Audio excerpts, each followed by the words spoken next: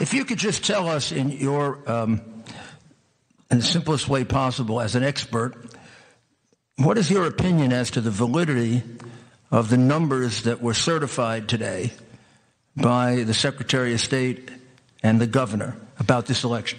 If I was an executive at a publicly traded company, I would never sign that because I risk jail time and having all my money taken from me in lawsuits. So, to answer your question, I would never, ever have certified. I'd rather resign than have certified those results. So, your, your professional opinion is that the numbers are fraudulent?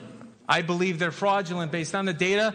And my sister asked me a simple question this morning. She goes, How sure are you? And my sister's a pretty stubborn person like me. And I said, I'd be willing to put my life on it. I'm that sure about the analysis, assuming that the data that I got from the state and everything else was accurate. So, you know, if you give me all inaccurate data from everywhere, then, you know, that's my only caveat.